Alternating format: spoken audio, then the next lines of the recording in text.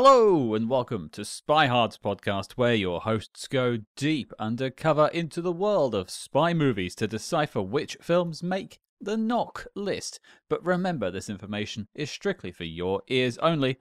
I'm Agent Scott. And I'm Cam, the cruise ship captain. Permission to come aboard, sir? Granted. It's the love boat. oh, it certainly is. Welcome aboard, everyone. Toot toot. And don't forget your life jackets. You just call me Captain Stubing. I don't get that reference. That's the love boat captain. I've never seen it. Nor have I. well, if anything, we're, we're true to form because uh, many people have criticized us over the years for not being experts or, or, or for knowing nothing. And uh, yeah, well, that's uh, par for the course, really. That's right. When it comes to the love boat, I will not be launching a spin off podcast. What would you call it? The Love Pod? That sounds so like, I don't know. I think of like a romantic advice podcast being called the love pod. Hmm. Um, hmm. Uh, Stubing cast? Sure. I, I mean, I, I could already hear people like unsubscribing from us and trying to find other podcasts elsewhere. So maybe we shouldn't pitch it so hard. Yeah, I don't know. Like, because to me, I don't know anything about the love boat mythology. So I don't really know how to. Could we tie it into like boat iconography? Guess, like- Anchors Away or. But then, well, there's actually a famous uh, Gene Kelly musical called Anchors Aweigh. So maybe people think you're like doing a tribute to Gene Kelly movies. Well, maybe you'd get the extra listeners though. They'd turn up for Gene Kelly, and then you'd be talking to them about Stuber or whatever you just mentioned. that was a Dave Bautista movie. okay, sorry. Dave Bautista's in my head recently. I, I can't shake it. yeah, yeah. Uh, perhaps, perhaps. But getting us back on course, if we're going to use the uh, boat terminology, Mm. Was that a, was that aimed at my joke? no, that was just a boat. That's the boat changing Oh. course. Is, is is that why you were sectioned once? Did you did you make that in a public space that noise or? That's right. Yeah. Okay. Um, I have questions, but I won't ask them now. But I do have one question I will ask. Hmm. What are we talking about this week? Yes, we are tackling 2012's This Means War, a star studded rom com starring the likes of Reese Witherspoon, Chris Pine, and Tom Hardy. It's a rom com for the ages. An, a rare occurrence. This is a film that I've seen that you haven't seen. That is very true, although I have seen it now. So, Oh, I was hoping to do this blind. Actually, I was hoping to just sort of like, just, you, you're just reviewing something you haven't seen. mm, no, yeah, I, I am up to date now on This Means War, but you saw it, I guess, originally. Did you see it in theaters or at home? I saw it in theaters. Oh, okay. I'll tell you for why. Mm. I was, I going back to the Love Boat. I was all loved up on some Chris Pine. Okay. I'd just come off of the highs of Star Trek 2009 and the lesser high of Star Trek Into Darkness, and I was like, "This guy's a good Kirk. I want to see more Chris Pine stuff." Corrective. and Corrective. Actually, uh, Into Darkness was not out yet. Oh, maybe that's why I was hyped about it. I thought Into Darkness was 2011. Nope, 2013. Oh, wow. There you go. So maybe I was just sort of anticipating Into Darkness. Well, that's probably why I was so high on Chris Pine because Into Darkness hadn't come out yet. Yeah, this is that period where they're trying to figure out how to make this man a star and capitalize on the success of 2009. And you could argue they still haven't sussed it out. I think he found his place. But uh, yeah, like I don't think he ever became that kind of uh, you know, Matt Damon superstar. Matinee idol wannabe type thing. No, I don't think so. No, although I don't know if Matt Damon would refer to himself as a matinee idol now, but no, like it, Ta- um, Chris Pine never became kind of that heartthrob leading man that's at the you know this like basically launching projects just off his name.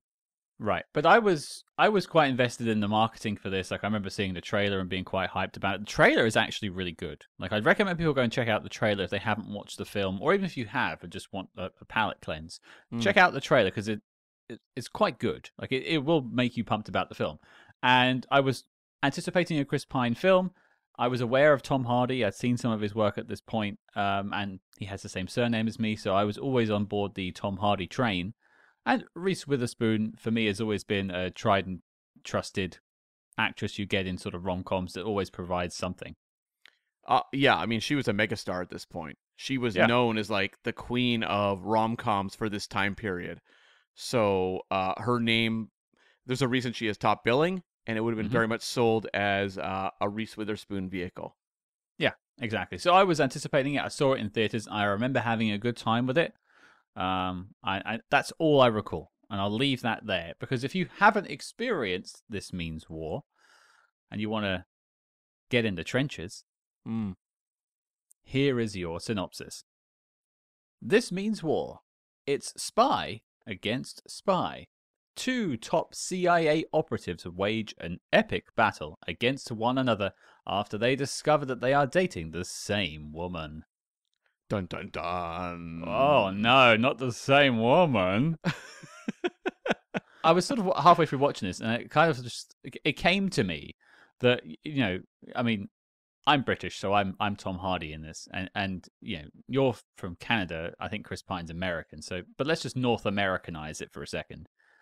Is this you and I fighting over Reese Witherspoon? Um, I, I just wouldn't be involved in such a situation. You, uh, you would. What would you do when you? Okay, so if you tie it down to a very moment in the film when they both find out they're both dating the same woman, Yeah. what is your instant reaction? I'm like, oh god, oh god. This is so awkward. Ugh. I was in this situation once. I just walked away. Really? Yeah, I was just like, no, I'm not. I don't do drama. Sorry. Later. Wow, I don't do drama. What a statement. Like that's a badass thing to do. You just like you just dropped everything, even with the person you were seeing. Yeah. I was Wow. like, okay, well, good luck, guys. Good for you. How did they get on? They didn't. so oh. you know, everyone went their separate ways at a certain point, and that was that. Uh, I, I I guess this means peace for you. Yeah, I mean, my life is fine. I did all right, thanks. Yeah, I'm okay. Don't worry about me. Don't weep for me. Uh, you know, when you turn this podcast off, you know, this afternoon or evening. They're already weeping whilst listening to it. So That's right. Yeah, yeah. All right. Yeah. Okay. Well, uh, maybe we'll get a little bit more into how we deal with it uh, further down the line. But that's your synopsis. Very brief. Uh, one of the shortest synopses I've ever read. Yeah, no, that's very true. And I was just looking up Tom Hardy because I Mm. remember a lot of excitement about him being in this movie at the time. Chris Pine, obvious, coming off of Star Trek. Reese Witherspoon, obvious. But I was trying to remember why there was so much excitement about Tom Hardy being in this movie at the time. Mhm. And I'm looking at like the lead up to that, uh, to this movie. He'd done Inception, which was his big kind of breakthrough in North America, at least. sure. Yeah. Um, he'd done Tinker Tailor Soldier Spy, and he had done Warrior. So okay. Yeah. those are three really showy performances that I think got a lot of the cinephiles hyper excited for him. And Mhm. this was kind of the crossover into real mainstream because Inception is a big hit, but it's not necessarily a I guess it is a mainstream movie. I Christopher Nolan is such an odd filmmaker because he makes movies that on the face of them don't feel like mainstream, you know, right down the middle movies, but they play that way. Well, much like me saying I'm not too sure this is a well-known film. Yeah. And you laughing at me. I think you inferring that Inception was an indie movie is a laughable uh, inference. So I'll I'll joke about you on that one. It is laughable. It is laughable. And it obviously had a lot of stars in that movie DiCaprio, Joseph Gordon Levitt. Like, there was a lot of appeal in that movie. Um, But, um, yeah, I, I- I guess, like, um, it was really cinephiles that latched on to Tom Hardy big time. Because also Bronson was in the past as well. Yep. And suddenly it was like, this guy is the coolest. Mainstream has obviously caught on because of the popularity of Inception. And Mhm. this felt like the movie where they were like, no, no, he's front and center. Because he wasn't front and center with Inception. No, Bronson he was, but that's a get a bit. Uh, that is a bit of an indie film. Warrior was a movie that should have been a big hit. And, you know, in a different era would have been. It had that rocky, feel good vibe to it. I saw It it. had fantastic performances, Mhm. and it just did not capture any theater going audience. It was more of a home movie, uh, you know, discovery. But Mhm. like I remember going to see a advanced screening of it because they were doing they obviously didn't know what they kind of had and or at least not not until it was getting closer to release. And then they realized, "Oh, this might actually play." And so I saw it a week in advance, and I remember just being absolutely bowled over by the film as well as Tom Hardy's performance, and then sitting and waiting to see the box office on its official opening the next week, thinking like, "Oh, I think this may catch on," and just being like, "Nope, nope, did not catch on." I remember really enjoying Warrior. Um, I don't. I wasn't really paying attention to the reception of films at that point though, so that went you know super far over my head. But that does sort of lend into the why the Tom Hardy hype was building up, and also I think Chris Pine's star was obviously rising as well with the Star Trek films and stuff like that. So kind of a perfect storm with having Reese Witherspoon there as well. Oh yeah, big time. And I will just add, uh, I don't usually throw in Patreon plugs this early in the episode, but we got bills to pay, folks. So here it is anyway. We're actually going to tackle a Tom Hardy film later this week on the Patreon, Legend, uh, a film that uh, he did a couple of years after this in 2015. Again, one of those ones necessarily didn't get the attention I think it deserved. We'll get into that discussion on the episode. A really interesting episode we, we've got there. So I'd go check that out if you're particularly inclined on more Tom Hardy chat. That's right. That's a great plug there, Scott. Thank you. Thank you. I, I can do this all day. Um, and also, I will just throw in another plug. If all things go according to plan later this week as well, on Friday, we're going to be joined by one of the screenwriters behind this film, Mr. Timothy Dowling, who's done a a couple of other spy films as well, wrote on Knight and Day. We've got some stuff to tackle with him and talk about, but we'll be discussing mostly This Means War. It was really his child from what we've been told. So look out for that in your podcast feeds on Friday as well. A lovely uh, Spy Hard, Spy Master interview where we go deep with the writer of a spy film. We love doing it.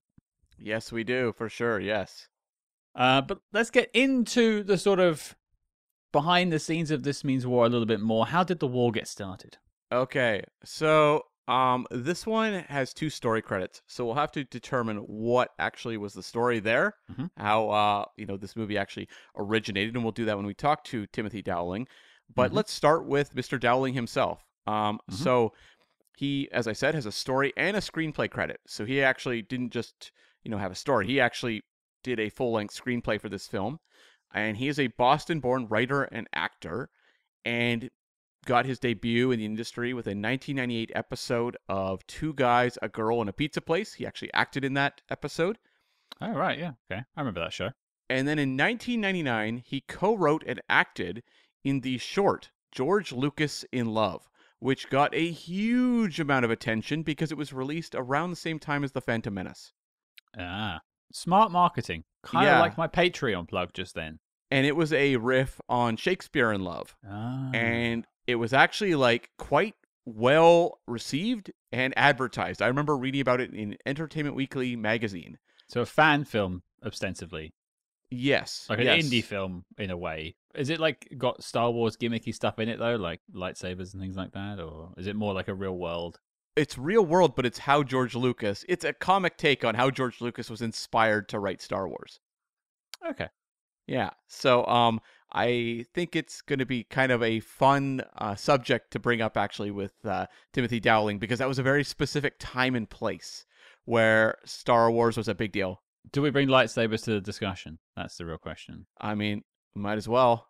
I should have a lightsaber actually. Why would I even advertise I'm going to bring one to the? Do you have a lightsaber? I do have one. Yes, from a Halloween costume where I was Kylo Ren, so I actually have his uh lightsaber. Do you have the mask? Yes. Why are you not wearing it now? Well, um, at this point, is it cool to wear anything associated with the sequel trilogy? No, it's just more for me, really. Oh, okay. Like I, I just it's just to just to hide all that. Well, fair enough. Um, I'll put my Snoke mask away as well.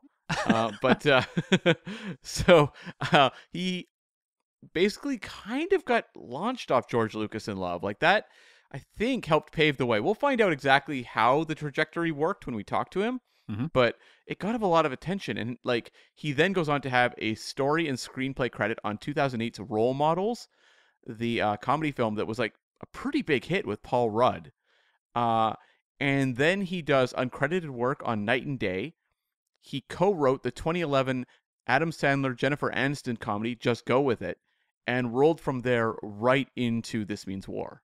I remember I remember that uh, Adam Sandler Jennifer Aniston film. I remember being quite good. They just recently reunited on a Netflix film that I haven't seen, but I remember that original one being pretty funny. Yeah, they did the murder mystery movies on Netflix. That's right. Yeah. And since that since This Means War, he uh wrote um, Pixels, the Adam Sandler comedy, Okay. uh, the big budget one, and then also Office Christmas Party. the guy from Arrested Development. Maybe. Yeah, Jason Bateman. Maybe. I didn't. yeah, I think so. I didn't see Office Christmas Party. Of these credits, that's the only one I haven't seen. I think Jennifer Aniston's in it. Okay, all right. I think I have seen it, but I can't recall. Yeah. Okay. So the other story credit on this film is by Marcus Gautesen, who has a very slim filmography. I know nothing really about this man. hmm Uh, he directed the 2003 comedy The Scheme, which co-starred Jimmy Fallon, and it's one of those movies that like was a small independent production. I think Jimmy Fallon's probably in it for five minutes, but they put his face right on the poster. You know, it's that kind of thing. I, I Yeah. we've seen that many times with famous comedians who had small bit parts that then find themselves as the face of a low budget movie later once they become famous. There's a spy movie we've tackled that did exactly that. I'm trying to recall what it was. Are you thinking of um uh the one with Sophia Loren? No. Oh, no, I remember what it was. It was The Package Okay. With Gene Hackman. The original poster had Gene Hackman and the female actress that was the co-star of the film on the artwork, Joanna Cassidy. But in re-releases, Tommy Lee Jones is also in the film, and he is front and center with Gene Hackman. Uh, But he was not big in 1989. Right. Yeah, yeah, that's a great example. Yeah, but I, I looked up the scheme and it has like a 2.3 grade on IMDb. Mm. So uh, I don't know if it was very popular. They should uh, go back to the drawing board on that scheme. hmm So then uh, Gautesen wrote and directed the 2004 short Carboy and has a story credit on this. That is the man's entire filmography. Okay. I, I'm sure Timothy has a story about that. Yeah. So somewhere along the way, this developing concept was snapped up by producers Will Smith and James Lassiter, and yes, it is that Will Smith.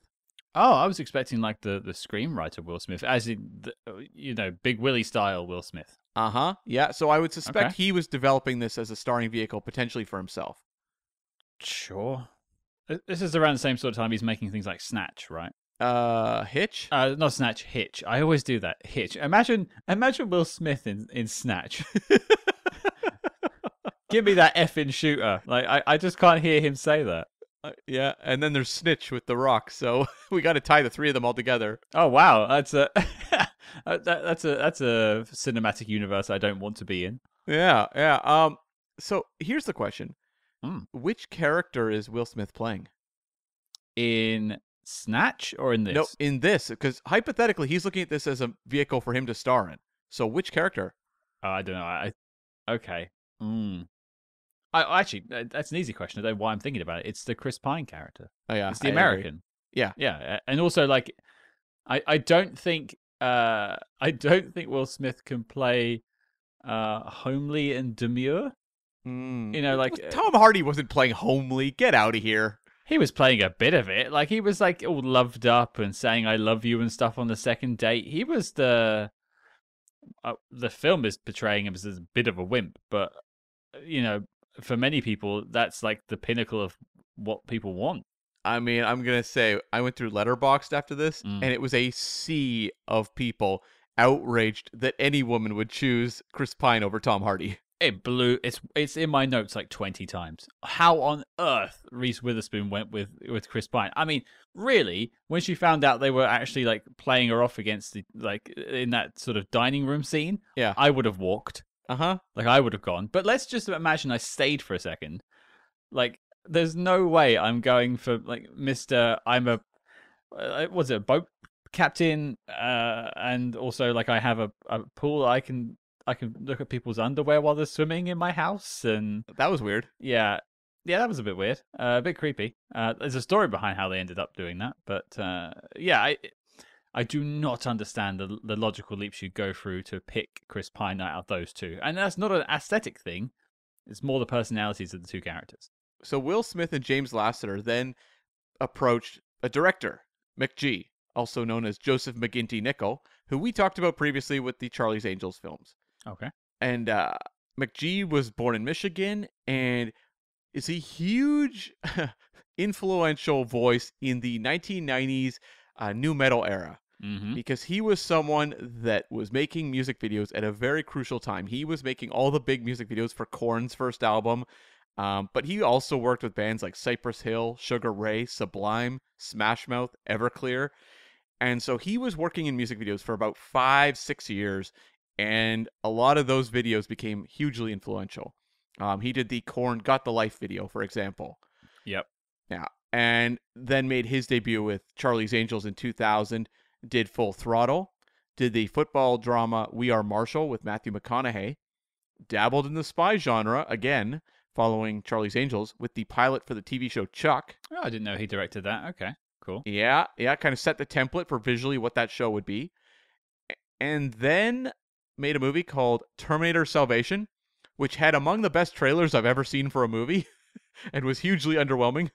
I remember not enjoying the film. That's all I can say. I just remember that trailer set to the Nine Inch Nails song, The Day the Whole World Went Away, and being like, this is going to be incredible. I appreciate that that film was trying to do something a bit different though with the Terminator franchise compared to what three and we'd get like afterwards with Dark Fate and Genisys would just feel like retreads of two.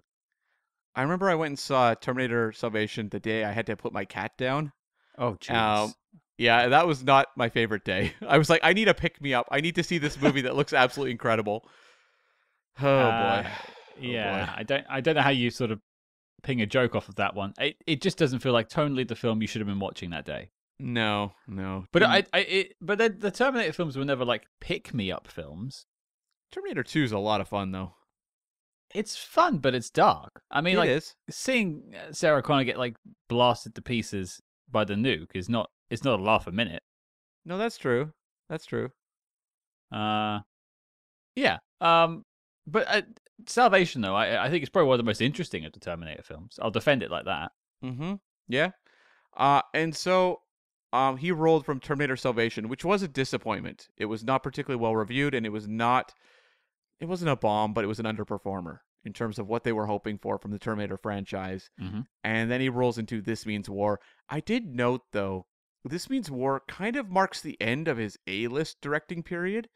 Because then he goes on and does movies like Three Days to Kill, the Kevin Costner action movie, which was lower budget. Kevin Costner was not at the height of his career at that point. Uh, then he just does like thrillers like The Babysitter, which was mostly a streaming film. And most recently, did a movie I've never even heard of uh, that came out this year, apparently, starring Joey King. And it was a Netflix uh, sci fi film called The Uglies. I have never heard of this film. Me neither. Maybe if I'm young, maybe if I'm like Gen Z, I'm like, of course, Joey King. Of course, I've seen The Uglies. But to me, at the age of 44, I have no idea what this movie is. Should I know who Joey King is? Um, she is known for those movies, the streaming movies, The Kissing Booth, and she's kind of like a popular star among a young audience. I will take your word for it there. I've never seen just about any of. I mean, she showed up. Okay, I'll give you an example. Oh, Tom Hardy connection. She played young Bane in The Dark Knight Rises. Oh, oh, right, in the prison sequences, right? yeah. Okay. Or sorry, not sorry, not, my cor- corrective, not Bane, young Talia. Sorry. I was gonna say, why was Bane played by a girl? I, I had we, we were heading down the Vern Troyer route there, which is a real callback. we Um, were. uh, my bad. I, I was gonna do a Bane impression, but like a feminine voice, but I, I just can't pull off that Bane voice. yeah, so, sorry. Yes, she was young Talia, young um Marion Cotillard. which of course is connected to Allied, which we covered earlier this year. Yes, but she was like a child star who showed up in several roles, but has become a thing, like a little a industry. thing. She's become a thing. She's become a thing, kind of an industry for an audience that is about half my age, if not less, or more. It's, it's very Cronenberg. She has morphed into a thing. She's transformed. Congratulations, Joey King. Look what you've become. Uh huh.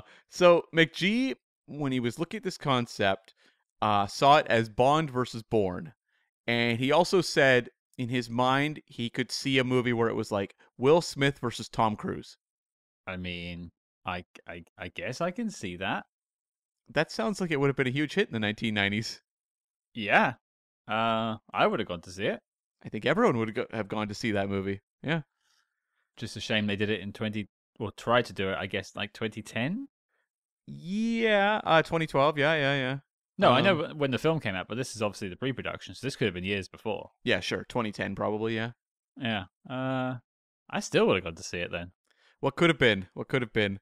What could have been? To be fair, we I, I don't think actually just thinking about it for a second, I don't think Will Smith necessarily dropped the ball with this one because he then went on to do the Gemini Man. Uh, well, that's years later. That's like seven years later. No, I know, but he did like that, and he also did the one with his son, which wasn't like the son meant to be a clone of him or something like that. Am I recalling it correctly? Uh, I don't remember. You're talking about After Earth. Yeah, where he's like fighting a version of himself. Uh, I could be wrong, but yeah, okay. So I, I feel like there was a nugget put into Will Smith's head that stayed there for a while. Right. Yeah. And so McG said he was just unhappy with the script and Mhm. so wanted some pretty significant changes. And he brought in Simon Kinberg, who we've talked about in the past. He was the writer director of the 355. Was he? He also, uh, his debut as a screenwriter was Triple X The Next Level or Triple X State of the Union, depending on what you want to call it. Which ties back to our interview with the director of that film and Die Another Day, Mr. Lee Tamahori. Check it out in the archives, folks. Yeah, so Simon Kinberg at this point has jumped off of State of the Union to do movies like Mr. and Mrs. Smith, X Men The Last Stand, uh, Sherlock Holmes, and he rolled from Holmes right into This Means War. Um, and so did pretty heavy revisions and would bounce off of this movie and do X Men Days of Future Past. So Simon Kinberg. He gets some he gets some serious flack on this podcast for the movies we've covered that he has written Mm. Or or touched. or touched. We haven't done Mr. and Mrs. Smith yet, uh, but you can see X Men Days of Future Past. Uh, there is some quality there. People like Sherlock Holmes, so yeah. Well, I think that's why he keeps on getting booked. Yes, Is he has a he has a filmography full of hits and misses. Yes, yes, and he's also a producer, so he's produced a lot of hit movies as well. Yes, it's just sort of also a little bit of who you know, I suppose.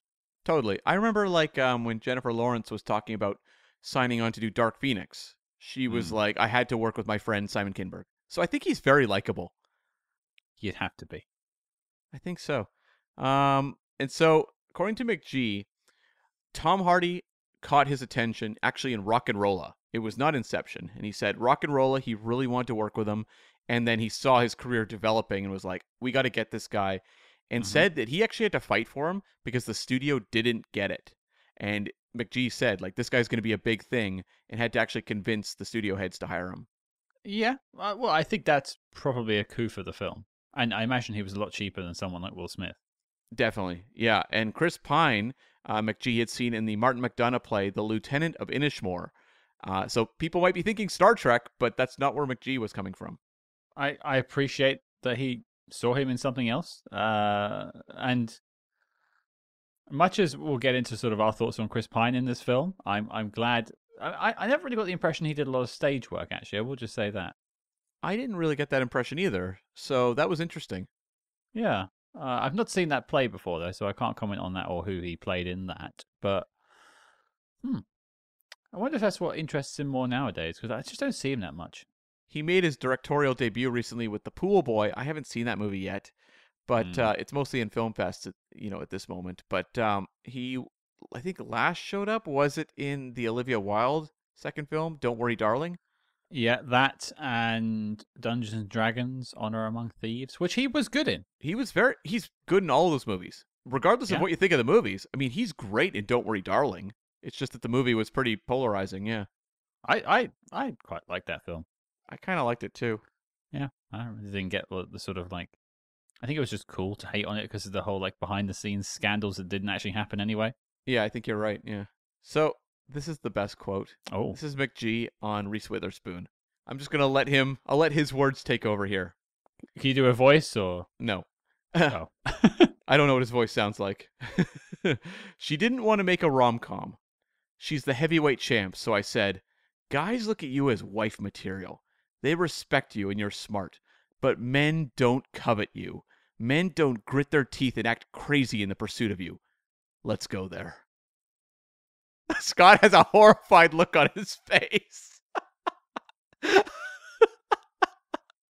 can you just read that last sentence, the last couple of sentences again? I just want to I just want to make sure I heard it correctly. Men don't covet you. Men don't grit their teeth and act crazy in the pursuit of you. Let's go there.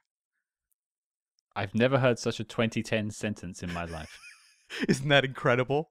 it's I I, don't know what to say to it in many ways. Like it, it's such an of its time sentence. Like, can you imagine someone going to Reese Witherspoon now and saying, "Yeah, uh, excuse me, Miss Miss Miss Witherspoon, um, men don't covet you enough. Right? Jazz it up, sister." And you just say, "Good lord." Like that's a horrible thing to say to someone. Men don't want to tear you to pieces enough. Like, uh, yeah, you don't want to be uh, like, ugh, ugh. It was the style at the time. I don't, I, I can't. Like, I'll, I'll forgive many of McG's sins. Charlie's Angels Full Throttle being one of them, but like, I'm not sure I can forgive that. That's a horrible thing to say to an actress and, and a, a human being as well, who's probably full of like self doubts and everything, and just going like, "Hey, you're not quite sexy enough. Let's make you sexier." Boy, Uh huh. Yeah. And then he gave a detailed, you know, breakdown of what they did to make her look sexy and said she was really into it. uh... do you have that? No, it was talking about smoky eyeshadow. It was quite long. I mean, there's a scene where she's in the midst of having, or in the beginning of having sex with Chris Pine in this film. Yeah. Where, like, it, it's entirely shot to make her look fantastic. You're talking about the lingerie shot?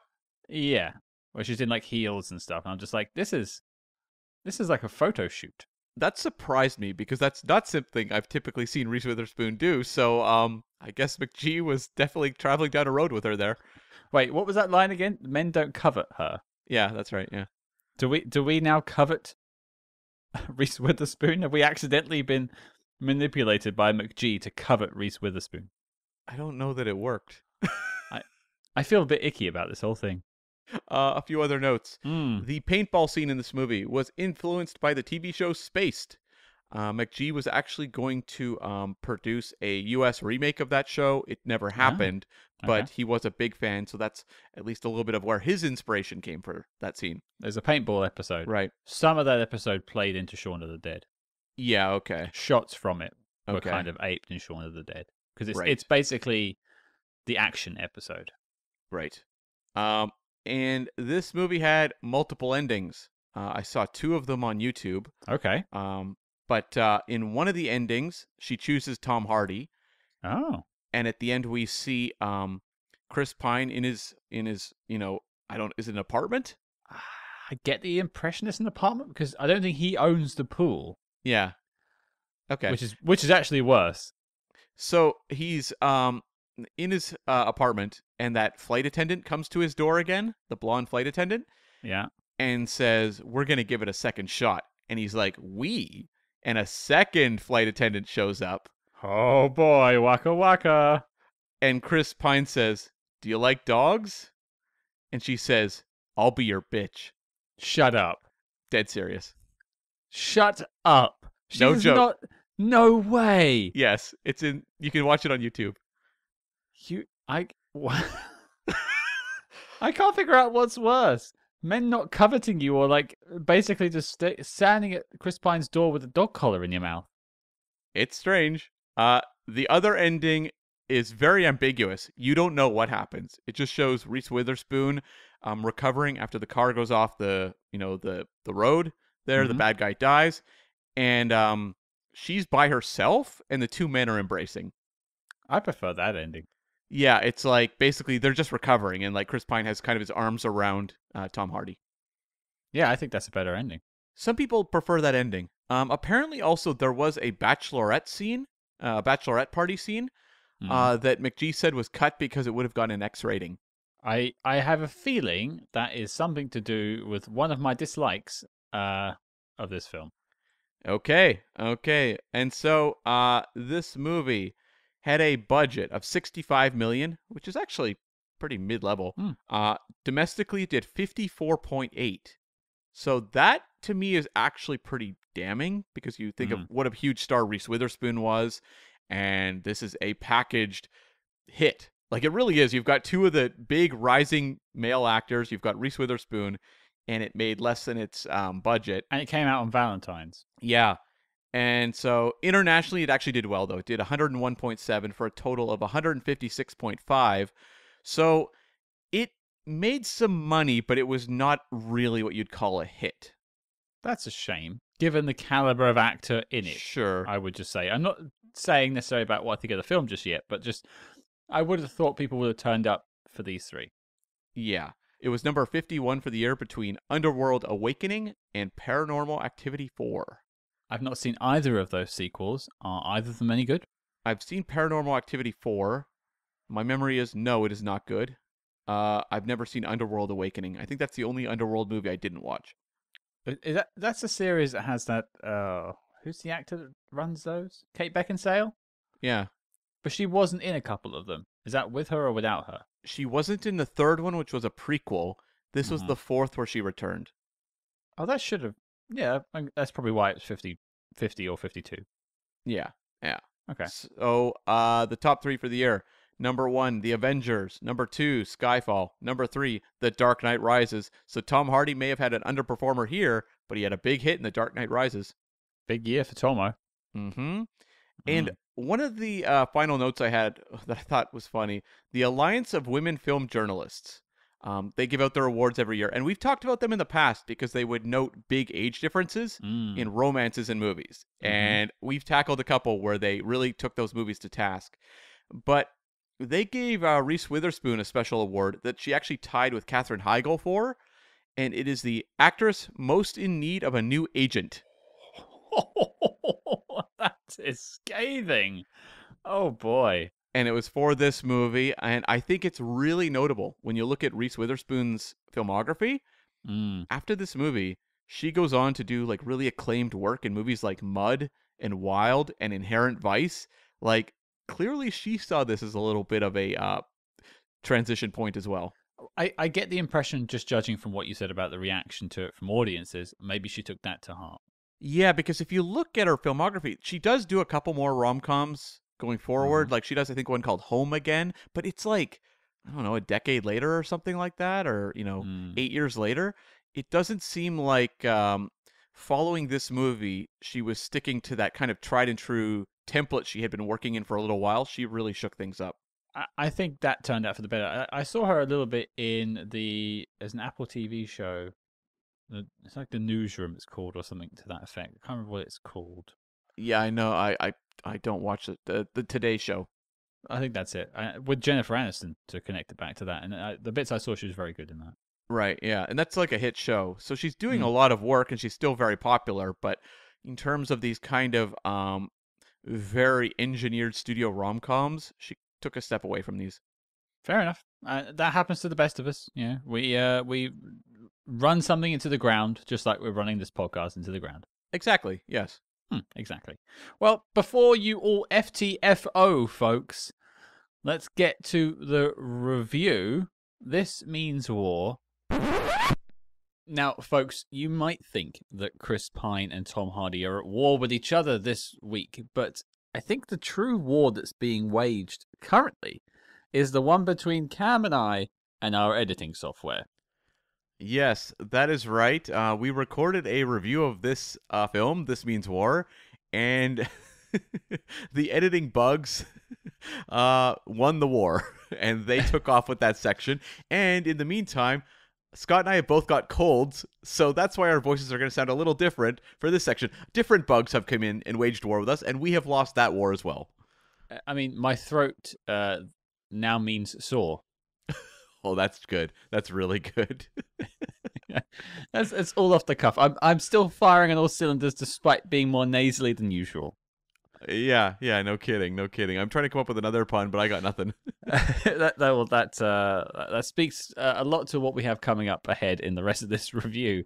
Uh, Cam has nothing for us. I pine for feeling good again. Uh, we all do. We all do in general. To be fair, as long as this is this is no like XXX2 state of the Flunian, that was a real low point for me.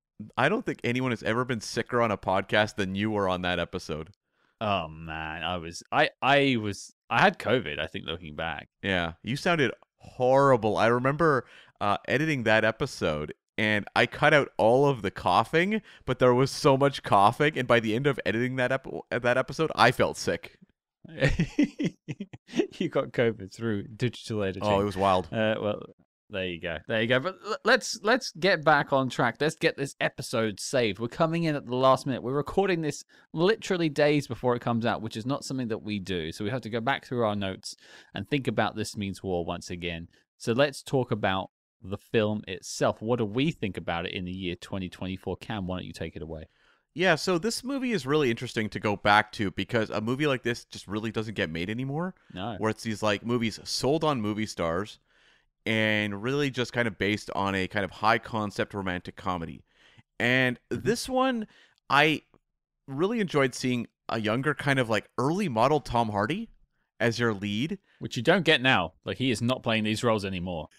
And maybe there's a reason. Like this movie didn't perform very well. I don't know that he was the most comfortable doing this type of work because Mm. it's not like he did this, you know, went and did some other things and then said, "Hey, I'm going to do another rom-com. Why not?" He's gone weird. Mm. Even when he does like a big budget kind of mainstream movie like Venom, he's being really weird in that movie. Well, even they sort of disappeared into themselves eventually. Yeah, it it feels like, you know, all of these actors kind of found different directions to go. And um so this is a really interesting kind of time capsule movie and in terms of like star chemistry and just sort of like a general energy vibe, there's something like nostalgic about going back to this time period because these movies don't exist anymore. Hmm. And so in that respect, I found the movie kind of cute, I would say. Like there Yeah. was parts where I'd go, oh, "Okay, like that's kind of a fun setup." And it goes like big with it. McG has zero subtle uh, subtlety in his arsenal. And he knows how to make movies that are flashy and kind of carry you along for 90 minutes. And when they're over, you kind of go, "What did I just watch?" I had I you know, kind of enjoyed the experience, but what did I just watch? I think for me though, this one doesn't work quite as well as Charlie's Angels because some of the romantic comedy elements just didn't click as well with me watching This Means War. Uh, this seemed to me like more of a love story between the two guys, and uh, it was more effective, I think, when it was pairing them up uh, off as buddies Sure. Yeah, yeah. than when it was actually pursuing the romantic relationship between Reese Witherspoon and the two guys. Um, that was where, to me, I just didn't connect to it as well, and I didn't find it as funny. I think it was more successful when it was having the two of them just bounce off each other Mm. than when they were doing the kinds of things you would do in a 2012 rom com, like cyber stalking and snooping on her. Like that stuff didn't really work for me. And like the splitting up the dates at the same time and all that sort of stuff. Like, yeah, that, that does feel very much of, of its time, and that's that's not necessarily an indictment on the film. It came out that year. It's not like it's a 2024 film pretending to be a 2020 2012 film. It that's when it came out, so we'll judge it by that standard. Um, I mean, I I I do wholeheartedly agree with with your points. I mean, for me, I think this film is best when it's Chris and Tom. Mm-hmm. And that's a real shame because you've got Reese Witherspoon. And I think a lot of it is probably just plate spinning in the sense of like trying to keep everyone's momentum going throughout. And if you try to spin three plates, it's going to get tough. Working on two or one is a lot easier. And so one of them's going to get sacrificed. And I think Reese Witherspoon does get the short end of the three of them. Yeah, I would say so. And I think also like McG, as I said, like he shoots movies that are very flashy, and there's not a lot of depth to what he does. Mm-hmm. Uh, it tends to be kind of surface level flash, and I think you can, you know, lob that criticism at Terminator Salvation, a movie that looks great but is pretty hollow. Yeah. And this movie, for that reason, to me, it was like this is a movie populated by movie stars where everyone in the movie looks like a model Uh huh. and everything looks really beautiful and it doesn't feel like when you get to kind of the comedic aspects as much or the rom-com aspects he has the subtlety that you necessarily want. Like a lot of the stuff feels very like kind of slam bang in setting things up whereas i feel like you want a little bit of wit. And wit doesn't really operate when you are you know working with a sledgehammer as he does and as he can often bring to movies that are big kind of fun flashy parties But then like that, that sort of tracks with McG that he gets his start in, in music video, which is three, four minutes. You have to get your entire message across in that short space of time. Subtlety is not the aim of the game. no and you know when you look at the original charlie's angels you see how he does it really well like that Yeah. movie is fun I love that first Charlie's Angels film. whereas the second one he goes too far Yeah. And I wonder, like this movie with maybe a director who was just a little more nuanced, Uh-huh.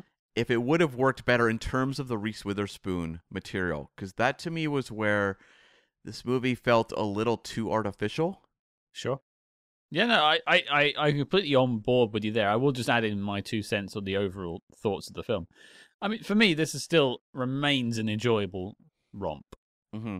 You know, it's not without its questionable elements. I think if we're looking at it through a modern lens, we we can raise a few eyebrows. But ultimately, you know, I remember the chemistry between the two leads, and that chemistry is still there when I go back and revisit this film, and that's what takes me through the hour forty five. Is is is Chris and Tom, Mm-hmm. and you know, we're seeing two bona fide film stars at the beginnings of their ascendancy, perhaps. And I mean, they haven't teamed up again. I don't know what it was like the two of them if they got on or not. I don't know anything about that sort of stuff. But you know, they clearly knew how to work it as if they were friends, and I wanted to spend time with them. Yeah, it's funny because you see a lot of reviews uh, where people say like that's the real love story. Like that's what really clicks in this movie is the two of them, and I don't know that the movie pays that off in a satisfying way by the end. Like there's a lot of deleted footage from this movie, and we talked about some of the end- uh, other endings in the behind the scenes stuff, but Yeah, the movie really is at a certain point focused on the Chris Pine and Reese Witherspoon relationship. Like that's kind of the culmination of the story uh-huh. uh, is them, you know, embracing after the car goes off the off the road. And I mean, this is the whole reason I'm going to be recommending this film to be disavowed is because the Brit didn't win the girl in the end. I mean, I I am crushed. It was a true story. Oh. Uh, uh, yeah. Okay. It- it's like you want to see more of a resolution about the two of them coming together because like they've been Hmm. the ones that have been at war, right? And so Yeah, that's what the that's what the titular "This Means War" is. It's their war. yeah, and so like them being kind of likable in the early sections is what you want to see kind of more of a return to and a focus on. Whereas like as I said, like the Reese Witherspoon stuff, it, it often feels like a different movie. I think uh, another thing is as well. It's it's about a power dynamic Mm-hmm. uh, of like movie stars. Like you, if you repurpose this, you keep Reese Witherspoon in the role, and you have two lesser actors. So just you know, not like not like not like putting us in the film, like not having bad actors in the film, but just people who don't have star power or wattage, like Tom Hardy and Chris Pine. I could see a film where Reese Witherspoon is the one you want to spend your time with Mm. because they are just two like guys fighting over her that we don't really care about. But because of the the wattage, I'll use my own word again, of Tom and Chris, it, I, your eye is drawn more towards them and not the love story that the film is purporting to be about. I will say though, in the uh, defense of the movie in 2024, having two megastars opposite her actually brings a little more suspense. I don't know if that's the right word, but a little more of a back and forth as to who she'll pick. Uh, I wasn't on the edge of my seat, but I, it's a real Hitchcock bomb under the table. Like, who will Reese Witherspoon pick? I couldn't. I had to stand the whole time I was watching the movie. I, I wasn't relaxed at all. Gripping your chair like you've just like put holes in it with your fingers. You're just holding onto it so hard. I was chewing like chips so quickly that I started biting my fingers. you got no nails left. You just chewed through them. I had to call the ER. Um, but like, uh, if you were to make this movie, or, or you know what? Here's a movie. Here's a movie. If you go back to like um the '90s, Ah, my grace period. Mm, something like um Sleepless in Seattle, sure. you have Meg Ryan who's dating Bill Pullman, but Tom Hanks comes around. There is no question in your mind she is going to take off and wind up with Tom Hanks. Whereas in this movie, you know, I think at that time period you would have known it's Chris Pine because Star Trek is kind of a bigger mainstream deal and he is Sure. being presented as more of a star. But when you watch it in 2024, you're like, well, hold on. I'm not exactly sure who she'll pick because um, I would argue that Tom Hardy has more of a case. I mean, I, I think Tom Hardy's character has more of a case too, but that I mean, obviously he's a namesake of mine. It's in the family, but I, I, I, I feel like Chris Pine's character does grow through the film. mm-hmm. Uh, but I, I feel like he's having to change to meet her standards, whereas Tom Hardy already seems to be at what she wants. Well, I feel like okay, there's there's a lot of artifice going on in terms of Sure. the evolution of Chris Pine in this movie, who's like the uh, you know, the bad boy who becomes good in a very short period of time and really only a Something short, we both resonate with fully, obviously. it's only a short number of dates really um, before he comes around. Talking about a a- a ten year old film on a podcast with a bad boy. yeah, the bad boys of podcasting. Um, yeah. But like Tom Hardy, you know, he's a single father. He wants sort of a, uh, you know, I- I would say a kind of a quiet home life. Um, is he even a good match for Reese Witherspoon in this? Tom Hardy. Yeah, I think so. is he? Yeah. I'm not sure. I'm like thinking it over now, and I wonder if like Chris Pine is the better match. Of course you are. You're North American. Of course you're you're like red, white, and bluing it over there for, for Chris Pine. Well, I don't know. She seems like uh, a little more like of the a city folk, if you will. Like wants to be out and about. She's at the video store, uh, you know, looking at the classic movies. I don't know. Like Tom Hardy uh, presents something that's a lot more simple, and I wonder if she's a little more outside the norm, a little more eccentric in some ways. And also, you see her job; it's this glamorous exec who's doing some sort of consumer reporting thing that I don't understand. It's a real Billy Joel uptown girl thing going on here, you know. She's been living in a high class world. Well, she's like a modern woman who has this friend, uh, a modern woman. What a statement. in 2012. She's like that, one of them newfangled modern women. Ah, damn, I hate them. she's hanging out with Chelsea Handler and like dating two men. Like she's someone who's open to living in the now. Whereas I feel like Tom Hardy's character is a little more like looking for something traditional.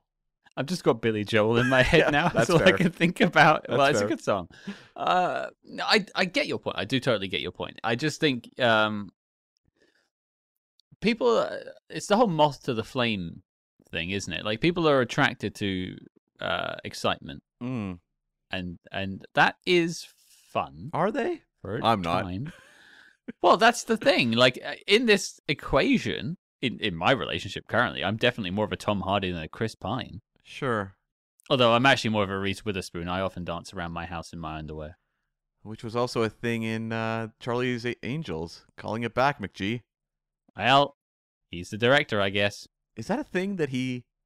Was that his idea? What likes women in his un- their underwear? Yeah, I think he probably does. Like dancing, like dancing in their underwear scenes. I mean, we'll have to ask Tim. We're talking to Timothy Dowling, the screenwriter of this film, later this week. If we can take that question to him, we will. Uh, yeah, okay. I mean, I can't sure. answer your question. That's the only way I can answer Well, it. it's a- like, well, we'll find out. Now it's like, is that a director stamp there? Uh, he didn't do that in Terminator Salvation, that's for sure. Yeah, can you imagine Christian Bale doing a wiggle? Uh, judging from the recordings of that set, no. He's wiggling around. You're in my eye line. that's what they were shooting at the time when that happened. that's why it's cut. These pants are too tight. Ah. What song is he dancing to in Terminator Salvation? Uh, is is it like Johnny Cash hurt or something like that? Like he's really he's really downbeat. Uh, it's got to be Mr. Roboto. Oh, you you want to make it funky? Yeah, oh no, Mr. Roboto, Terminator. Come on. No, I, I, I thanks Cam. I got the pun. Let me explain the joke further. it wasn't that far of a leap. Jesus. Like, uh, hey Scott, Mr. Roboto, do you get it? Do you? Uh, no, I got it. Thanks. I just think like it doesn't tonally work with the film, but I guess neither does Christian Bale dancing around in his underwear. True. How have we got here? I don't know. I don't know. It's the flu talking. It is. It must be. It must be. But let's let's move us over to the like section. I've got plenty to discuss, but why don't you lead us off with the like, Cam? Yeah, it's like I kind of said early up front. It's like McG, there's issues I have with his direction. I don't know that he's a great comedy director. Um, I don't know that I've seen enough evidence of that, really. Also, spy comedies have, have proven over the last five years to be very tough to pull off. And I can't quite figure out why. I would love to know the answer to that because we've seen so many. And it's not like um, these are written by writers who aren't, you know, up to the job or have Uh. impressive credentials. It just seems like it's a very tough um, kind of blend of genres to pull off. Well, it often uh, ends up in a situation where you have like good chemistry between two leads or whatever, and some good comedy, and then the plot has to take over. Yeah. No, that's true. Like, uh, like, um, I mean, I, w- I was going to point to Ishtar, but that's a mistake from the start. But like, spies like us, we'll go back to that. A lot of like those two goofing around in the CIA at the start It's really quite fun. But when they're walking around in the snow trying to find a missile and stuff, it just it loses a lot of its comedy. Yeah. No, totally. But as much as I can be critical of hi some of that aspect of his direction, Mm. one of the things he does really well is he makes a genuinely great looking movie. Yeah. This movie was shot in Vancouver. I know what Vancouver looks like. Vancouver does not look like what is in this movie. Like he made it Mm. look like beautiful and sunny like LA. I'm not exactly sure how he did that. Uh when it comes to action, um you know, like there's some spy plot stuff that didn't quite click with me, but like in terms of action scenes that have momentum to them, Mhm. he's very capable of that. You look at that highway chase at the end of the film or the start of the film in Hong Kong when they go after Til Schweiger's character. Mhm. Like this is well shot action, whether it is fisticuffs kind of stuff or shooting or explosions. Like he genuinely can deliver on that. And this is a time period where movies have kind of spiraled into that post taken shaky cam trend. Sure. And a lot of directors are just using that as a go to because it's in some ways easier to do. They don't even have to be that good at action to just cut it to pieces Mm-hmm. And I was genuinely like impressed with McG's chops. I mean, I shouldn't be given that he showed very strong skills at that in Charlie's Angels and Terminator Salvation. Mm. But here again, I was reminded of it because if ever there was a movie where you could kind of phone in the action potentially, it's a movie like this where you'd put more of your attention on the stars and the romance and the comedy than the action, but he still delivered on the action. Well, I, I have to completely agree with you on that one because, you know, as we mentioned, this section that we're inserting into the podcast in the middle is what we'd lost. And we're coming back to this about two months after we did the original recording. Yeah. But I still remember those opening and closing action sequences. Yeah. Like they have left an impression in my mind enough that I remember them, and I think they're pretty, pretty, pretty good, pretty well put together. Um, and you know, I I don't think that uh, chase sequence in the highway is actually Vancouver. No, I don't think that is no. No. Is that that must be L.A. It's- Yeah. it looks like L.A. Certainly. yeah, it would be. Uh, but well, that looks good too. Um, and I'm sure we'll talk a bit more about the action stuff with Tim later this week. But even like a sequence that's not necessarily action action, the paintball uh, battle in this movie where Tom Sure. Hardy takes Reese Witherspoon paintballing, um, that scene is completely absurd Yeah. as someone who has uh, paintballed a lot in his life. But he brings gusto to it. It looks fantastic. Uh, it's overblown in a hilarious way because um, let's just say if Tom Hardy were to behave like that on any sort of paintball range, uh, he would be kicked out like in seconds. Those marshals would be on him like flies. The whistles would be going off immediately once he's like walking on there without a proper helmet. Oi! Oi, mate! Well, it's the classic like we have a movie star, so we have to like keep their face yeah. revealed to the audience. So he's got goggles and Reese Witherspoon. No, he, I don't think he has anything. I think Reese Wi- Witherspoon has goggles. I, I don't think he has anything. Yeah, she has goggles, which Yeah. is like that's a rule number one. Is everyone has to wear a face covering of some sort. Yes, and also um, paintball grenades don't work quite the same way as in this movie. Uh, I can say that for sure. No, but I, I, you know, on the paintball side of things, I like that this is now a trilogy of paintball spy films alongside Gotcha and The Living Daylights. Very true. We'll see if there's a fourth along the way. But uh, like a sequence like that, um, it looks great. Like Yeah. you give him an assignment like that, and he doesn't half-ass it. And I've seen so many comedies that would. They, the comedies may you know deliver on the laughs, Mm-hmm. but they'll kind of take a a, lesser approach to the visual storytelling, and this movie doesn't. Well, oftentimes you've got a director that's more for comedy than action. Yes. those spy comedies. Yeah. So, I mean, my main like I wanted to bring up something we've already spoken about, which is the chemistry between the two. So I'll- I'll just add, it is the thing that stuck with my mind when I first saw the film years and years and years ago. I was glad to see that it was still as powerful going back to it now. They have a, a great chemistry on, on screen. Not as good as us. Mm, no, but you know that is a rarity. Yeah, I mean, lightning only strikes once. That's not true. Lightning strikes actually quite a lot.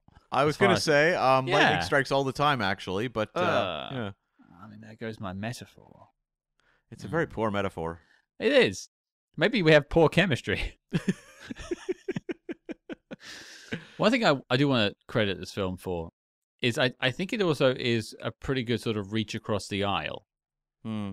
And I don't mean the political aisle. We stay away from those sorts of conversations. No, Scott, time to dive in deep. How does this represent the Republican Party? ah, ah, um, uh, check please. Um, yeah, exactly. Yeah. Um. No. But what I mean is, you know, like to people like you or I, we see. Oh, like saying you or I were making this podcast back in 2011, Mm. let's say, right? I mean, we would be much higher up in the in the rankings if that were the case. I'm sure, and we'd probably be finished by now, maybe. But I think we would be anticipating this film. Mm.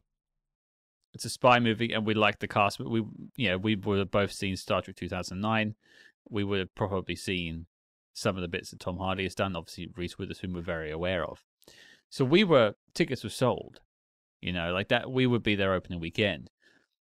But you put those three people on a poster. This is a perfect date movie. Mm. Uh, I mean, yeah, we've spoken about some of the content doesn't age as well, but I think like this is a good one that you can just sit down and watch as a as a couple. Like I know this was originally supposed to come out Valentine's. We mentioned that earlier. Yeah, yeah. Uh, but yeah, I, I think there is a, an element to this. That there are elements that work for everyone. I mean, it was a tough sell in theaters. Uh, it didn't Yeah. do particularly great, and it may have been because it wasn't uh, enough of an action movie for action fans and enough of a romance for people that want a romantic comedy. Sure. But it also feels like the kind of movie that would play much better at home because Or like DVD.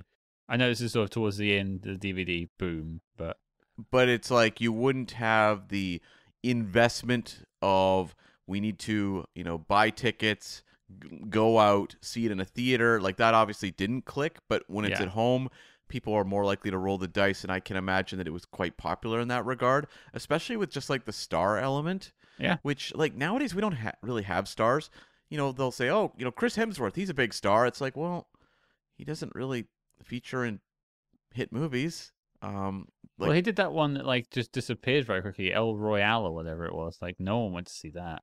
which was great. It was really good, Yeah. but no one wanted to see it. Um, and that's happened with a number of his movies. And it's like you do have the odd star like Leonardo DiCaprio yeah, or you know Will Smith that will bring in an audience, well, but they're few and far between. uh, Leo certainly. Uh, I think Will's star is a questionable size nowadays. Uh, I don't know. That last Bad Boys did really well. I did it. Okay. Yep. Fair enough. Um, but yeah, I, I, and I think I wonder. I don't know where this is sitting on streaming currently, but I wonder if this one still does quite well. I think 90 minutes is also a very digestible runtime, and that is Mhm. actually another like because uh, you and I have watched a lot of movies that overstay their welcome, and 90 minutes is a welcome relief. And there is one we are going to be reviewing, I think, next week. You're not going to be able to figure out what it is based on the order of, um, you know, the release of these episodes, but it's a comedy. It's almost two hours, and I'm not looking forward to it. Uh, I well, I uh, eagerly an- await to anticipate what uh, trash you have lined up for me, Cam. Well, exactly. Yes, yes. Uh, which this isn't. And I think for the final like I'll throw in is it's good to see that the CIA has decided that the Americans can't quite do it, so they're starting to hire Brits now as well. Yeah, what would be the purpose for that? Is that a thing that they would ever do? I have to imagine. Well, yeah, I imagine there are British people and other nationalities working for the CIA. That only makes sense because you'd need people with specialist skills. Sure. But with Britain, I I get the impression that Tom Hardy's character was raised in America Okay. because he's sort of part of Chris Pine's family. Yeah. Well, I mean, I guess it's kind of the reverse of Sandra O oh being with um MI uh MI6 in Killing Eve. Uh, yeah, very good point. And uh, Patreon plug, by the way, folks. Uh, That's Killing right. Eve season one review is available on Patreon.com/slash SpyHards right now. Mm. Go and listen to it. It's Christmas. Treat yourself. or was it MI5 she was with? Either way, I always get it mixed up. correct us, but correct us over on Patreon, patreon.com slash spyhards. Let us know there if we got it wrong. Right. But you have to sign up to tell us. That's that's the rule. Wait, Scott, do you hear something? We interrupt this program to bring you a special report. Red Alert Spyhards, we are shaking things up over on the Patreon page. That's right, we are launching an exclusive new show where we tackle the exploits of the small screen's greatest secret agents, like Jack Bauer, George Smiley, and beyond. And don't forget, every month you also get two Agents in the Field episodes where we decode the adventures of your favorite spy actors in their biggest non spy movies. But Cam, tell the people what we have coming up next. Well, since this is apparently Tom Hardy week on Spy Hards, we are going to look at his 2015 biopic film, Legend, where he plays notorious English gangsters, the Kray twins. And we will answer the fundamental question Are two Tom Hardys better than one?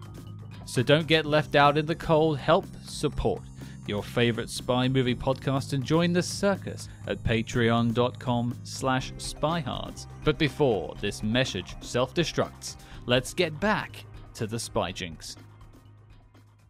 Well, Cam, for all things, there must be a downside. Let's talk about dislikes. We have some things to talk about, I'm sure. Why don't you lead us off? Yeah, I think for my dislike, uh, it's sort of that the romantic comedy elements just don't really hold up very well. Sure. And I think it's very different in 2012 or probably I don't know. I have to hop in a time machine to go back, but um when you have the Reese Witherspoon character dating the two guys, um that's not particularly abnormal in 2024. It's treated as like something that is like, "Whoa, can you believe this?" You know, Chelsea Handler's like, "No, no, go for it. Go for it." Yeah. Um and then you have the two guys, right? And what they're doing. And they're obviously at war with each other but they're also doing a lot of things like cyber stalking her. They are uh, running surveillance on her house 24 7. There's a lot of manipulation that is um, crossing lines that now is a little uncomfortable. And I feel like the movie is almost saying that, like, that's kind of acceptable because of kind of what she's doing. And I'm not exactly sure if that's what the movie's trying to say, but it kind of comes across that way sometimes as a kind of a defense as to what they're doing. Mm. And uh, again, that's kind of like a different way of thinking, a decade plus past. And while the gender norms and dating norms, I mean, heck, look at the approach to uh, online dating in this film, uh, change decade to decade. Um, here, they felt a little more glaring than some better examples I can think of. Yeah. I mean, uh, my reply to you is twofold. Mm. Firstly, I'm doing all those things to you right now. True. True. And I can only assume you're doing them to me. You have been watching videos of me dance around my apartment in my underwear for like months. And that's just the ones you send me. And it's always the same song And the same underwear. Mr. Roboto. Do your laundry, man. Like, what's wrong with you? and the other thing is, like, it's not that this trope's actually gone away. You just look at Ghosted, came out last year, and the entire concept of that is Chris Evans falls for someone, cyber stalks her across the planet, and finds out that she's a spy and gets pulled into a spy adventure. It's not like that's gone away. I mean, you were far kinder to Ghosted than I was. It was terrible. Uh, I was a, I mean, I, I think, um, I, I think I'm a little bit of McG when it comes to Ana de Armas. right, okay. You know, um, everyone's got a type. Sure. But they also put Ana de Armas in the power position that entire film. So there is there is that sort of flip on the concept. So Reese Witherspoon would have the agency in, in the version of this film. Like she's clueless throughout this movie, and ultimately when it's revealed, they have the big, you know, fist fight in the restaurant, Mm. and uh, they get off pretty scot free with her. Yeah. Uh, I mean, I, I, I don't know. I, I, I think I think a modern reaction would be she would just dump both of them. Yeah, or a sane reaction, yeah. Well, you know, Yeah, I, I think you can overlook a lot of things early doors. And also, when you look like Chris Pine or Tom Hardy, I think a lot of people would be, or Reese Witherspoon, I think a lot of people would be like, "Oh, hold, hold on now." She she murdered my parents, but she looks Hmm. like that. I mean, oh, Perhaps I can covet her, as McG wanted me to. I, I think your criticism is perfectly valid, and I think that's if someone is doing a recent review of this film, you wouldn't be the only person to say it. I just found like it was also like impossible for me to emotionally connect to that storyline because which- they're because they're doing those things. Yeah, and it's just like it wasn't. It, it just wasn't like making me laugh enough to eh, kind of override it. And so when it gets to the end, I don't have that feeling of like they're together. Like a lot of rom coms, they're built on artificial situations. Yeah, But if you really buy into it over the course, like the movie really pulls you into it, uh huh. at the end you feel something when that couple gets together, even if it's entirely ridiculous that this would ever actually happen Yeah. you buy into it. And I just didn't buy into this by the end at all. Well, I think part of that is I don't think that there is a tension, sexually tension between either of the couples. No, you're right. It's very puppy dog love with Tom Hardy. Yeah. And Mhm. Chris Pine, they want a little more of that carnal desire. Uh, I mean, you do I have mean, that. we all do, brother. you do have that like uh, very uh, beautifully shot like love scene on a counter with Chris Pine and her, but like um, that doesn't mean there's actual like sparks coming off of them either. I did. I did. I I have a note somewhere. I, I, I part of this review, Cam and I had to dig out our old notes from this film. I can't find the exact note, but I did note down. I, I feel like she was like wearing something quite provocative in that scene. That was Yeah. a bit like much for what they were doing. Uh, she was, yeah, it was very fancy lingerie, yeah. I mean, ladies, dress however you want to make yourself happy. Men listening too, dress however you want to make yourself feel fancy. I have no problem with that. What I'm saying is, it's it's that uh, McG coveting again. Yeah, and, and I think one thing too, if this movie's made now, and again, made in 2012, she would be wise to what they're doing at a certain point and would twist it on them. Yeah, I think that is the perfect like third act twist. Mm-hmm.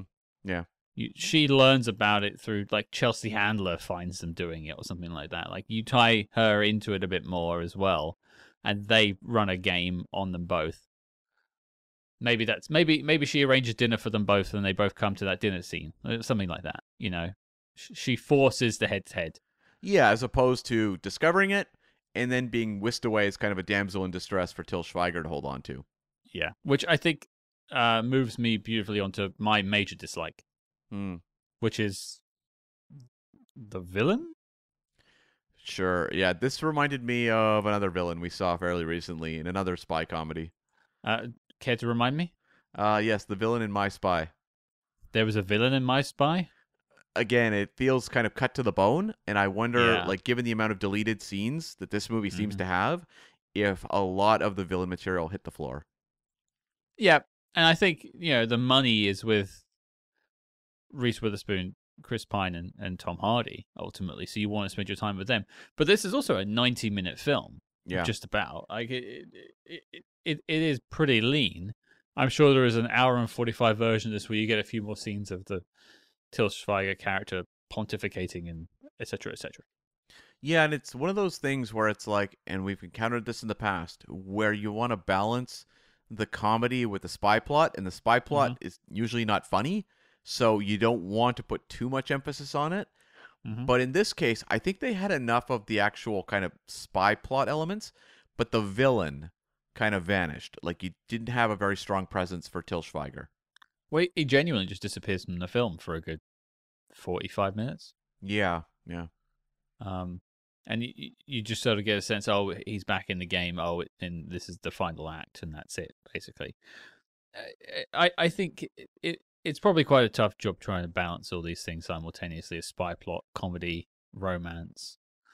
Uh, but yeah, it, it just feels like it's a loose thread Mm-hmm. in this tapestry. Like it, it, it another version of this film, you might have got a bit more from the villain. Uh, any other dislikes from you, Cam? Um, yeah, there is one actually that was kind of a surprise, which is how much Angela Bassett is wasted in this movie. She's introduced as their boss, Oh yeah, and you're like, it's Angela Bassett, like one of the like greatest actresses around, and really doesn't do very much. And again, I then wonder, was there material that hit the cutting room floor with her? Well, it, it, I mean, there's a whole reason there's a different cut of this film out there. Yeah, because I thought like, what a great presence as someone who's going to come in and be, you know, kind of the tough boss. We've seen her do it again in Mission in the Mission Impossible series, Mhm. and also in not a good movie, but Green Lantern, where she played the role that Viola Davis would play in the Suicide Squad films. And like great casting, like a strong, forceful presence that you would buy as a badass boss. And I was hoping we'd see a little more of that here, but we really got nothing. Yeah, I, I, I don't know if I necessarily missed it. I think it would probably draw too much attention away. Uh, it's kind of like um, Charlton Heston in True Lies. Like it's it's fun when it's there. That felt like stunt casting, though. Yeah, I, I don't Yeah. I don't know if the boss is that important to want to spend too much time around. You get what two scenes of M in a Bond film? That's true. Um, but I would say like Charlton Heston, they made kind of a funny deal with that where they dressed him basically like Nick Fury from Marvel Comics with the eye patch and all that. Yeah. Like you remember his one scene. Can Uh-huh. you tell me anything from the Angela Bassett scene in this movie? Isn't he called like Falcon or something like that as well? I think so, yeah. Yeah, I don't know why that stuck with me, but yeah, Yeah, I, I couldn't tell you anything about Angela Bassett though. Exactly. And uh, to me that's kind of if it is stunt casting for one scene, then it didn't really click. No. Okay. Uh, I, I think you're fa- I think you're right on that one. The last dislike I had, and there's a reason I haven't really spoken about this character or this actress slash comedienne too much, is I just find whatever Chelsea Handler's shtick is, she can shtick it somewhere else. she is a polarizing uh, comic figure. That is for sure. That is for sure.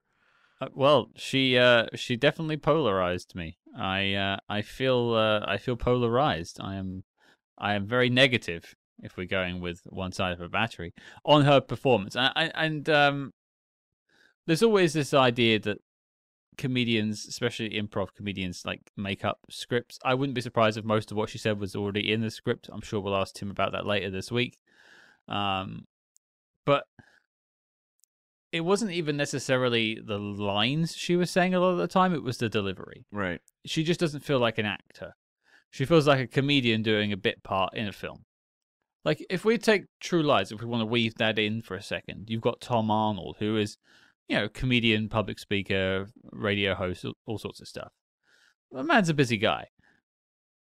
I think he blends into True Lies a lot better than Chelsea Handler blends into This Means War. I liked the scenes between her and her husband where they're like having Cheetos sex. Of course you do. Like- that's your favorite type of sex. like to me that was like kind of funny. Uh huh. That worked because it was actually a character in their own little world. But when she was basically Reese Witherspoon's uh comedian best friend who's just kind of like riffing off everything Reese Witherspoon is telling her, that didn't really work for me. I I didn't even like the relationshipy stuff with her husband because it felt too zany for the rest of the film. Mm, yeah. Like that. I mean, if that's scripted or that's an idea that came up on set, I don't. We'll get into that, but it's more like it feels so far outside the, world of this film. Not that couples don't do that sort of thing. Know, you could be, you know, miscongeniality in the streets and freak in the sheets. That's all good. You do you, folks. What I mean is, like, it just feels tonally way off base from the rest of the film. Yeah, although the movie never convinced me it was set in reality. So it's like that character Yeah, but it's not like Charlie's Angels 2 where like gravity doesn't exist. Like there is still some fundamental laws of physics happening here and like I I don't know, there was the tone wasn't wacky. It was light comedy. I was she out of place in a movie where Chris Pine has like a swimming pool in his ceiling where he's watching women swim? I don't know. Well, he's rich. He is He's, rich. that's, that's I don't know how he's rich. rich, people but- get what they want. I guess rich CIA agents, sure thing. Well, I, I, I- I, I mean, he's never had a long term relationship. Tom Hardy has less money because he got married and had a kid. Oh, that's true. Okay, fair enough. There you go. I just accidentally proved that. There you go. Um, but there, I, I, you know, I think your mileage will vary. Put it that way, folks. If you haven't watched the film yet and you're going to do it after this review, your mileage will vary with the Chelsea Handler character.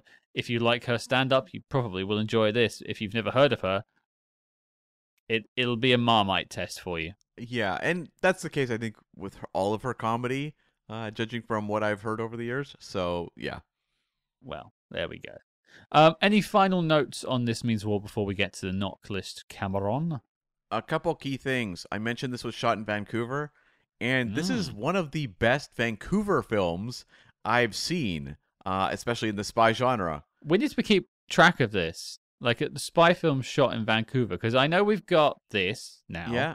We've got Ecks versus Sever Ballistic. Uh, Ballistic Ecks versus Sever. Yeah, we haven't tackled that yet, but yes. Yeah. The Russia House shot bits. Yeah, a little Near bit. Yeah, a couple. Uh, this means war. No. Uh, Art, Art of War. Uh, Art of War. No, no, not Art of War. Uh, Cats and Dogs. Uh, one and two. Bad Company. Is it that one? Bad Company was yes. They used it as Seattle. Yes. Right.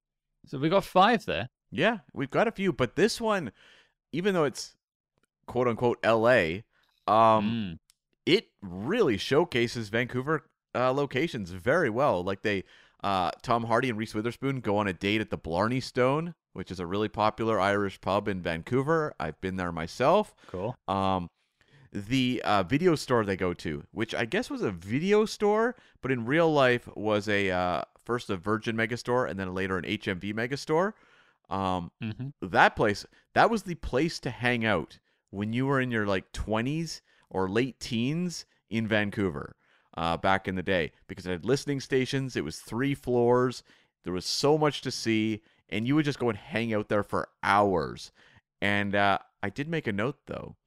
Reese Witherspoon is going through movies when Chris Pine comes to talk to her, and I made note of what she was actually looking at. So initially, she's holding a copy of the 1990s uh, Kiefer Sutherland film The Vanishing, Okay. which was really badly reviewed, and he puts it down. He says, "Don't don't take that. Trust me on that one," which apparently was true.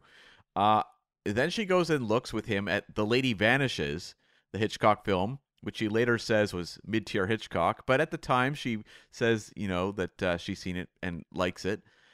Um, and I also noticed on that Hitchcock display, Topaz was there as well, and Rope.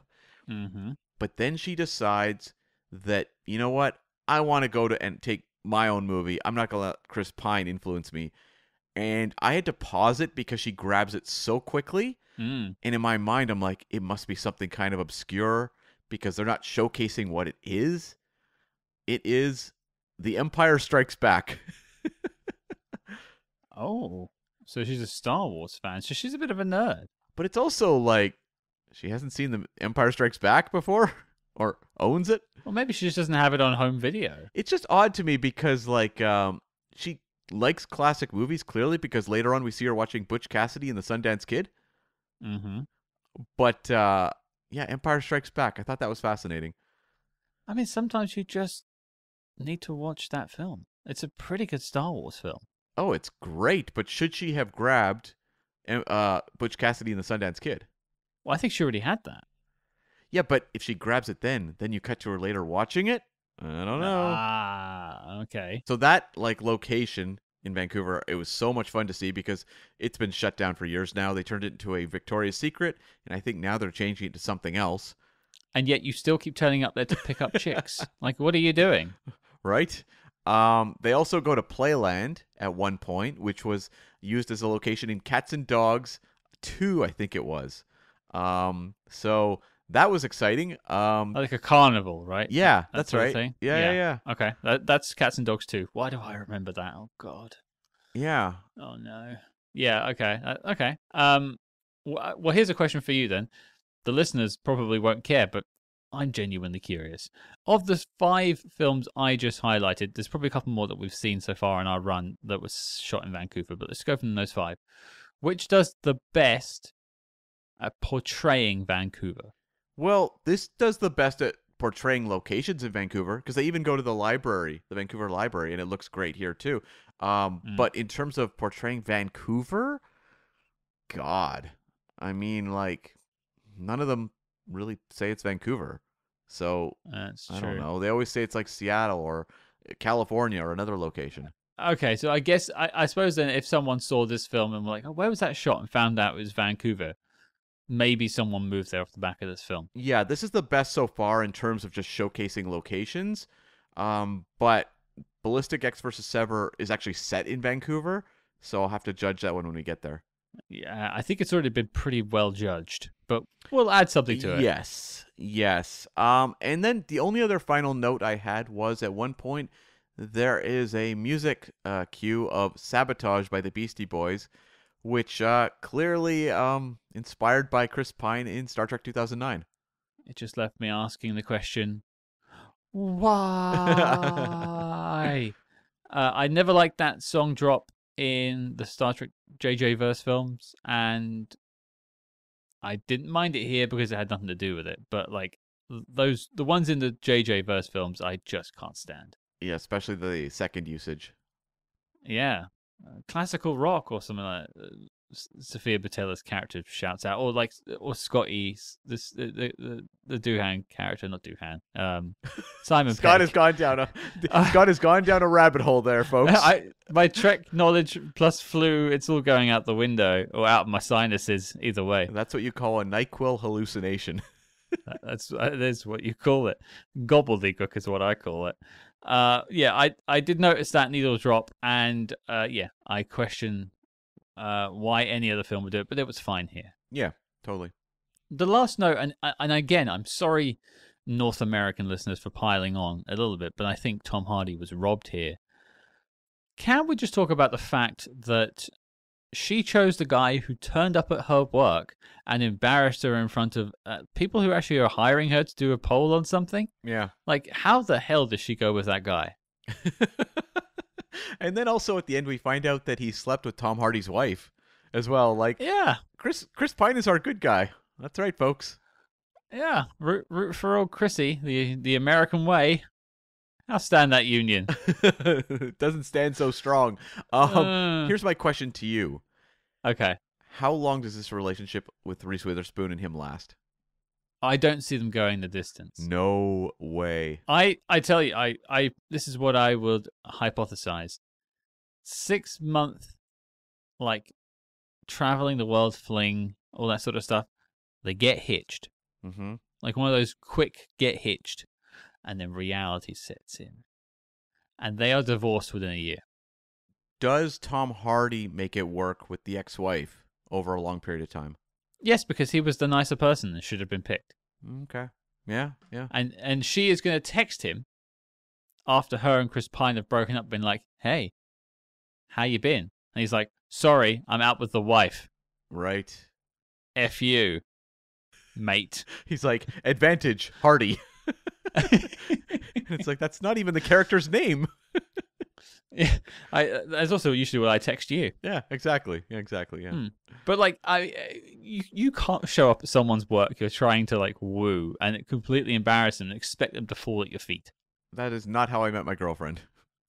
Uh, no, it is how I met you. That's true. That is true. Yeah, I came in, I started criticizing your bread, Yeah, and you got me fired, these, these baguettes. I got you fired. and Yeah, then you were yeah. like, "Now you got time to do a podcast." Yeah, and uh, edit it, which is basically your day job now. That's right. An unpaid day job. well, it is paid. Patreon.com slash spyhards. You got to feed Cam, folks. That's true. That's true. He's literally just drinking water, and that's all he's got left. I send him kibble from time to time. Dirty water too. oh. I felt bad there. I'm not even doing that. Uh, well, okay. NOC list time, Cam. The question, as always, is the film we're talking about. This means war, making the list of the need to see official classics of the spy movie genre. You get the first vote. What do you say? Yeah, it's a no for me. Um, I think like it was kind of a, a mixed bag. Uh, you know, we shouted out the elements that really worked. Um, and then there was enough elements that didn't work that I was kind of like sitting somewhere in the middle and leaning towards no on this one. But you know, it is in good company with a lot of other spy comedies. I know that there are some that are going to make the list. Like I know what they are Yeah. and we haven't tackled them yet. We will, but this one isn't uh, necessarily in their company. No, uh, I think I agree with you on that. I think it's a no from me too. I will say, I didn't mention this earlier, but in defense of Reese Witherspoon's character, and the one thing I was on board with with her is that when Chris Pine's character said to watch Lady Vanishes, she replied with, "No, I'd rather watch Notorious," True. and my heart fluttered a little bit, I have to say.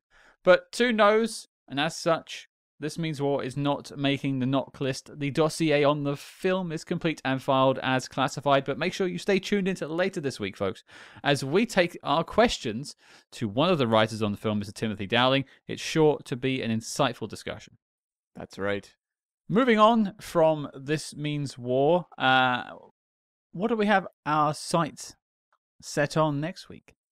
Well, um, these stars we talked about with This Means War, we're really having a moment in 2012, right? Like Mm. this is them where they're like the hot young rising talent. Mhm. And we're going to go to another movie which featured another star who was really on the rise. We're going to go back to 1999 and look at the Ashley Judd thriller Eye of the Beholder. Ashley Judd, for those who maybe have forgotten, really was like a cottage industry for a while for these like R-rated thrillers. So we're going to go back and see if Eye of the Beholder stands up. And as well, that movie co stars Ewan McGregor, also having a moment himself, releasing this the same year as The Phantom Menace. So, a, a pretty big year for them both, really. Yeah, yeah. Yeah. Uh, not a film I've seen, Old Eye of the Beholder, and not one that often gets spoken about online much. Well, I thought This Means War was the same. Is it for the same reasons, though? We'll find out next week. Your mission, should you choose to accept it, is to join us as we take a look at Eye of the Beholder.